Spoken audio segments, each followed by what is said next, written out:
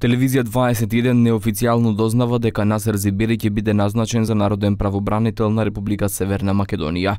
Официјална потврда од Зибери се уште нема, но извори за 21 велат дека Зибери ќе биде наследник на Иджет Мемети, чиј мандат истекува во декември 2020.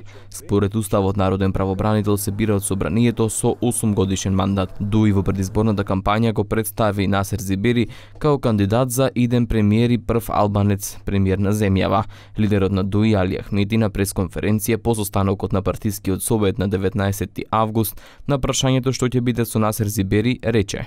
Ju të gjithë e dini që Zoti Zyberi është notar dhe ai vazhdon dhe përmbëtarin e tij si notar deri në një moment kur do të arrihet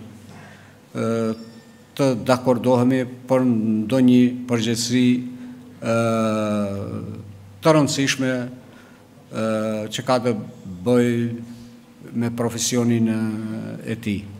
Инаку мандатот на народниот правобранител трае 8 години со право за рекандидирање за уште еден мандат. Актуелниот народен правобранител Иджет Мемети на оваа позиција дојде во 2004 година, а во 2012 година мандатот му беше продолжен за уште нови 8 години.